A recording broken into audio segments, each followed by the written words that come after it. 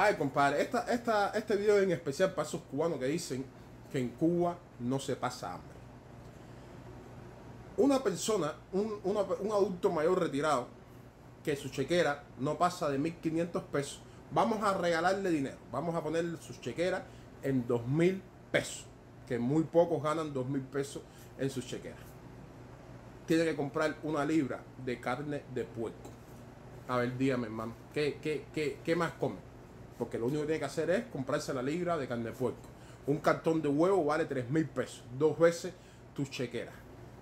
Y todavía hay personas, hay cubanos que se llenan la boca o tienen la valentía de decir de que en Cuba no pasa hambre.